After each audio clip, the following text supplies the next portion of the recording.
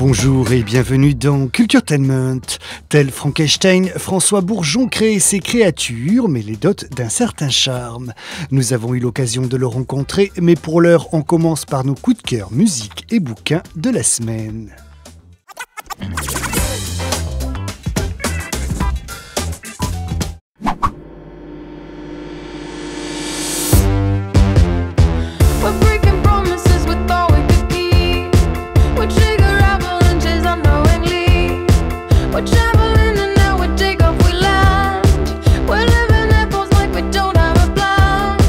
The Do secoue la pop française avec son troisième album, leur meilleur, Check Chook Chicken.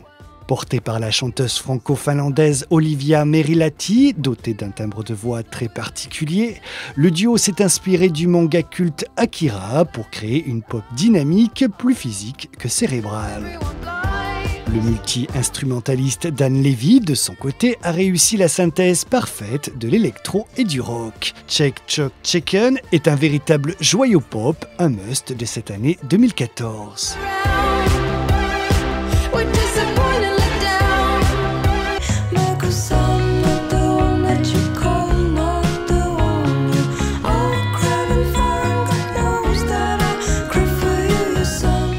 Elysian Fields, Bess Orton et Pete Gervais, Marie-Flore arrive avec un premier album By the Dozen qui n'a rien à envier à ses influences. Ce premier coup de maître retrace avec rage et douceur les étapes d'un amour voué à une muse masculine, entre fantasme, frustration et espoir.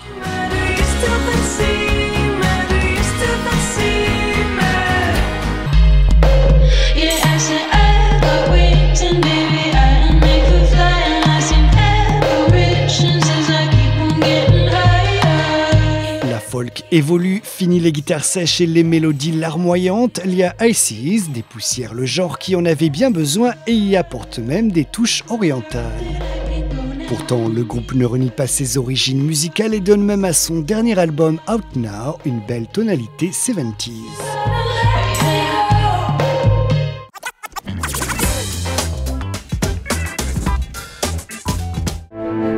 Après Animals et Julia Rome, Anki Bilal clôture magistralement sa trilogie écologique avec la couleur de l'air.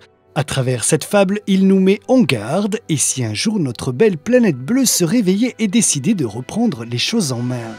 Au début de ce dernier tome, elle est grise, voire anthracite, ce qui ne présage rien de bon. Un vaisseau sinistré et chargé d'armes atomiques erre lamentablement au beau milieu de nuages orageux, avec à son bord un équipage incongru. Sa direction semble pourtant tout tracée, comme celle des autres personnages ancrés dans un environnement chaotique et surréaliste.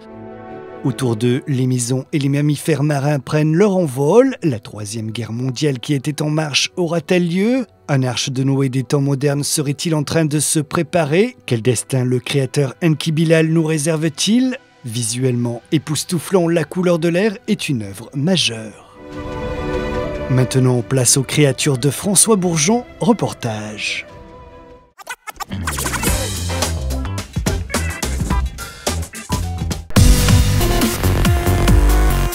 Figure de la bande dessinée et auteur de séries cultes comme Les Passagers du Vent et Les Compagnons du Crépuscule, François Bourgeon est un des grands architectes du 9e art, mais pas seulement. Il crée aussi des héroïnes au physique avantageux et au tempérament bien trempé. Le hasard, euh, quand j'ai commencé à faire de la bande dessinée, m'a fait travailler pour des journaux destinés aux petites filles, donc avec des héroïnes. Ça a été quelque chose qui m'était imposé, que je n'avais absolument pas prémédité, etc. J'ai travaillé pendant huit ans à peu près avec ce genre de personnage, et quand j'ai eu envie de, de- de- me lancer tout seul, très simplement, euh, j'y ai même pas pensé. Je me suis dit, tiens, je- ce serait bien que je prenne une femme comme héroïne. D'abord, c'est plus agréable à dessiner, ça fait un compagnon de route plus complémentaire. Ça permet d'aborder la différence d'une manière plus, plus patente.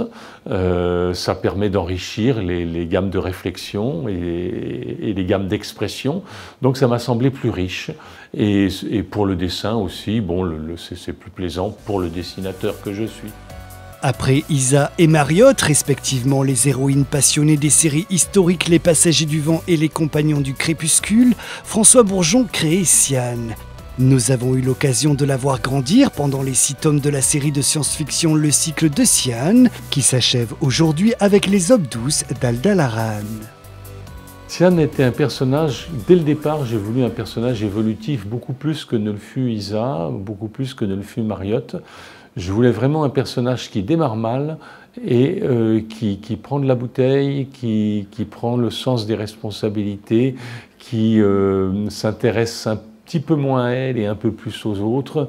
C'est vraiment un personnage qui évolue, mais c'est un personnage aussi qu'on découvre par exemple en lisant La clé des confins, euh, qui est un album un petit peu à part dans, dans le cycle, euh, puisque ce n'est pas de la bande dessinée, mais euh, en lisant La clé des confins, on, on s'aperçoit que Sian a aussi, même dans, son enfance et dans la manière dont on la découvre au début, pas mal de circonstances atténuantes, puisque quand on découvre l'histoire de sa mère, l'histoire de son père, la relation du couple, etc., euh, ça donne un peu de profondeur au personnage. Mais dès le départ, je voulais un personnage qui évolue complètement.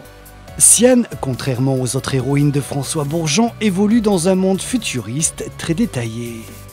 Oui, il y avait une volonté de, changer. Alors changer, ça ne veut pas dire faire complètement autre chose, ça veut dire ne, ne plus se servir de, de documents euh, anciens, etc., mais se servir de documents que l'on crée pour essayer de raconter, parce que finalement un auteur raconte toujours la même chose, je crois, mais essayer de la raconter différemment, euh, avec des, des, objectifs, avec des moyens un petit peu différents, et, et, et finalement de poursuivre le dialogue avec le lecteur, mais en changeant les marionnettes.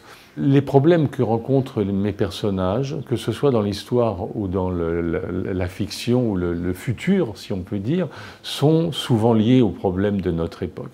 Je pense que c'est très vrai pour l'histoire. Un historien comme Froissart n'a pas écrit le même Moyen Âge que Michelet, n'a pas écrit le même Moyen Âge que Jean Favier. Pour la science-fiction, c'est pareil. Euh, la science-fiction que l'on raconte, elle est quand même très orienté par ce que l'on voit, ce que l'on craint, ce que l'on aime de notre époque. Et on y retrouve effectivement des problèmes qui sont de tout temps, mais peut-être vus sous un aspect plus particulièrement 20 et 21e siècle. C'est-à-dire que les problèmes écologiques que rencontre Sian, les problèmes euh, de, planète, les problèmes de, survie de des espèces euh, sont des problèmes que l'on peut se poser chez nous aussi. Alors pour créer un univers dans le cycle de Sian, euh, ben je me suis adjoint un, un ami et un, un, collaborateur, enfin le mot n'est pas très joli, mais, disons un comparse euh, qui n'écrit pas l'histoire, qui ne la dessine pas, mais qui m'a aidé à, à à la fois à l'écrire et à la fois à la dessiner. C'est-à-dire que Claude Lacroix euh, est intervenu souvent pour me donner des idées que je retenais ou que je retenais pas, qu'on discutait ensemble ou que voilà.